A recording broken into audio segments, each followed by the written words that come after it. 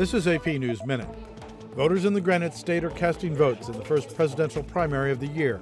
Polls show Republican Donald Trump and Democrat Bernie Sanders commanding leads. The race to watch is expected to be for second place on the Republican side. President Barack Obama is asking for $4.1 trillion in his budget proposal for 2017. He says his priorities are to advance the security and prosperity of the country. He's also asking Congress for more dollars for cybersecurity, saying some software systems are downright ancient. Two commuter trains collided head on in the southern German state of Bavaria. At least 10 are dead and 80 injured. Investigators say an automatic braking system apparently failed as the trains rounded a curve. And temperatures hovered in the mid 30s during morning Mardi Gras celebrations in New Orleans. That did not stop revelers from lining up for Zulu's parade.